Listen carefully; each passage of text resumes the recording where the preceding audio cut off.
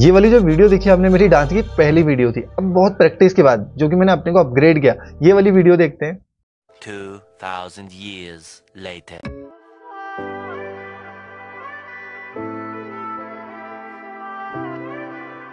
तो ये वीडियो देखी आपने। तो अपग्रेड करने के बाद ये चेंजेस आते हैं। अब नोकिया जब इतनी बड़ी कंपनी थी, इतना बड़ा उसने पूरा प्लेटफॉर्म लगाया, सबके पास नोकिया के फ़ोन थे, फिर उसने अपने को अपग्रेड क्यों नहीं किया? और आखिर क्या रीज़न था नोकिया के इस फेलियर के पीछे? इस वीडियो में सभी कुछ जानेंगे और नोकिया आज अपग्रेड किस तरीके से हो रहा है। नोकिया का नया लोगो आ गया है। पूरी नोकिया की केस स्टडी इस वीडियो में हम जानने वाले हैं। मैं हूँ आपका दोस्त Naveen and you are watching Digi Naveen let get start this video अब हम बात करेंगे कि किस तरीके से नोकिया एक जाइंट कंपनी फेल हो गई। एक टाइम पर नोकिया के बहुत सारे फ़ोन थे हर इंसान के हाथ में ऑलमोस्ट नोकिया का फ़ोन तो दिखाई देता ही था। तो नोकिया की जो स्टार्टिंग थी, वो हुई सन अट्ठारह में, और वो भी फिनलैंड से। आप लोग जानते ही हैं कि जो नोकिया है, वो फिनलैंड की कंपनी है। बट ये सबसे पहले अट्ठारह में मोबाइल फ़ोन नहीं बनाती थी। ये एक पेपर की कंपनी थी। उसके बाद इन्हें जब ये कंपनी का नाम था, वो नोकिया भी नहीं था। ओरिजिनल नेम इसका नोकिया ओएस था। लेकिन जब 1990 के टाइम से इन्हें कंपनी ने मोबाइल फ़ोन बनाना स्टार्ट किया और रैपिडली इतनी तेज मोबाइल फ़ोन बना दिए कि उन्नीस सौ अठानवे तक टॉप पर ये कंपनी पहुँच गई और 2007 में इस मोबाइल का जो मार्केट कैप है, वो 50 परसेंट से भी ज़्यादा था। लेकिन 2007 में जैसे आईफोन आया, कुछ चीज़ें बदलने लगी। अब आईफोन एक कॉम्पिटिटर तो उसका आ गया बट यहाँ पर नोकिया की खुद की भी अपनी एक प्रॉब्लम थी। यानी कि नोकिया के जो फ़ोन थे काफ़ी बल्कि थे, क्योंकि नोकिया ने जो काम किया था, वो बेसिकली हार्डवेयर पे किया था। सॉफ्टवेयर पे काम नहीं कर रहा था, जैसे कि आईफोन या अदर डिवाइसेस काम कर रही थी।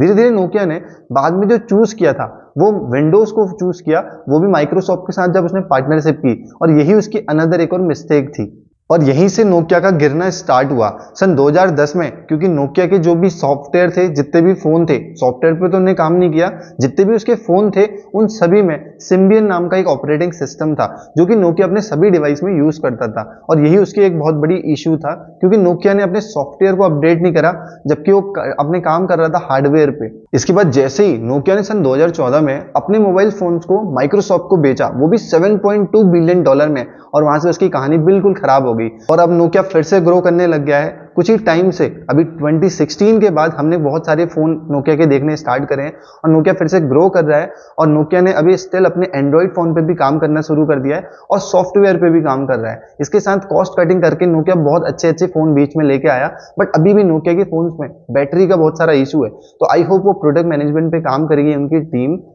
नोकिया की ये केस स्टडी की वीडियो आपको किस तरीके की लगी? प्लीज़ कमेंट बॉक्स में पिन करके ज़रूर बताएँ। और अगर आप चाहते हैं कि किसी न्यू के स्टडी पे, किसी बिज़नेस के स्टडी पे हम नई वीडियो बनाएँ तो प्लीज़ कमेंट बॉक्स में कमेंट करें। किस तरीके की आपको ये यूट्यूब वीडियो लगी? सो अगर आपको कुछ भी वैल्यू इस यूट्यूब चैनल से मिली हो या इस वीडियो से मिली हो तो इस तरीके की unique informative AI content and digital marketing के प्रो टिप्स के लिए आप हमारे चैनल को भी सब्सक्राइब कर सकते हैं।